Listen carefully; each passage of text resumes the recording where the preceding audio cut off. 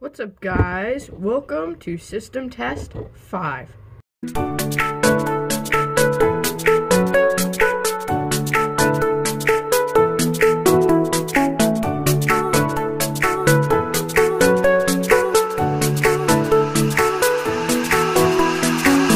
So starting off with the panel, everything's normal, no troubles or anything. Um, moving up, we have our two monitoring modules, no sync module this time. And the for the first, or the, I guess call it the second pull station spot, we have the FCI MS6 second generation pull station. This one is the one NJ had in his collection and then sold off when he left the hobby. Um, if we go up, we have our smoke detector still, the 449 CST. We won't be testing that today. Come over, we have a new device. This is my Ellenco H or 45S-HSD-24 um, horn strobe, and it's basically a rebrand of a 7002T. Um, so you'll be seeing that today. And if we come down, we have my FCI MS2 first generation pull station. I got this new in box for like $16 and it's really nice looking. So yeah, we head over to our annunciator, everything's normal. And if we go up, bam, a crazy alarm. It's called a, a double gang cover plate. So yeah, there's no device here today. And um, you notice there now there's four wires running into it, so I can do four wire audible silence at this spot too. So stay tuned for videos coming up that'll have that.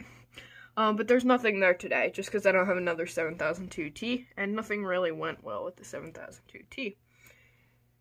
Okay, so let's get to the fun part of the video, where we set off the alarms. So, first off, these sound terrible on FWR, so we're just going to go ahead and unplug the panel. Oh, and we do have our emergency push station, which I'll show you an update with that too.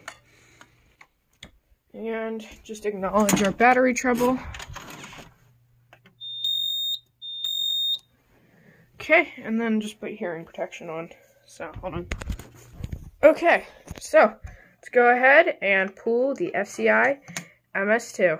Three, two, one.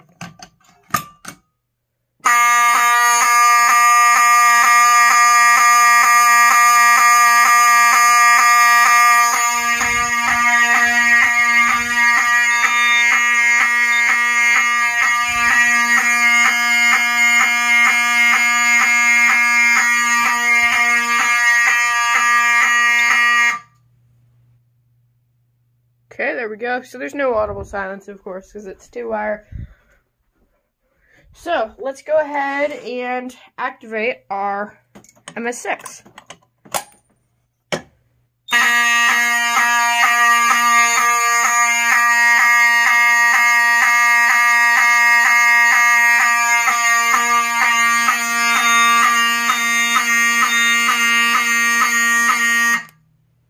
And of course you can unsignal silence. I don't know if I've ever showcased this before.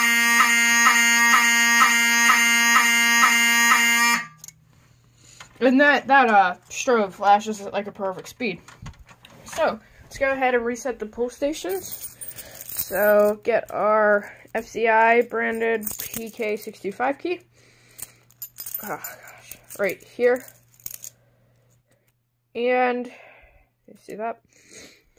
Let's go over to our pull station. This, for the MS2s, you have to put pressure, like right here on the bend, so that it's less stiff when you go to unlock it.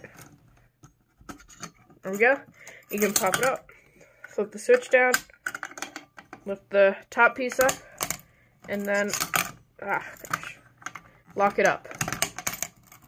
And the lock on this is stiffer than usual, but if you push in right here when you're resetting it, it'll make it a lot easier to twist.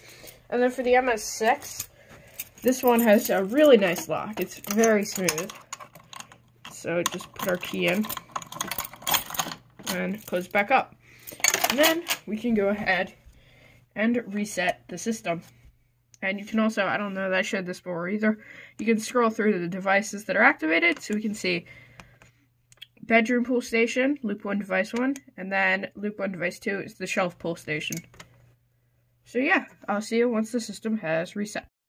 Okay, so we're going to start a fire drill at the fire alarm control panel, and then we can end it at the annunciator, uh, since there's a drill button on the annunciator. So, to do a fire drill, we go into a menu, we scroll down to control, and then I'm going to just put in the default password for level 2. You can use level 1 also.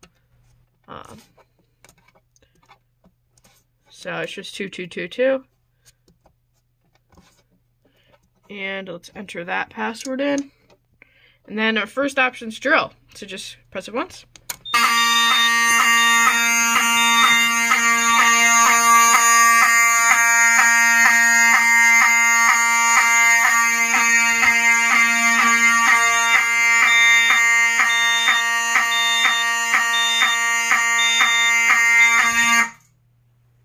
Go. So you can end the drill at the annunciator.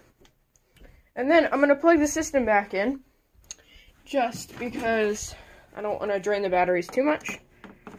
And let's grab our push station key. So I have updated this with a new feature. I don't know if I ever mentioned there's an LED here. And I decided to wire it so that the LED turns on when you press it. So here we go. And the LED is very bright.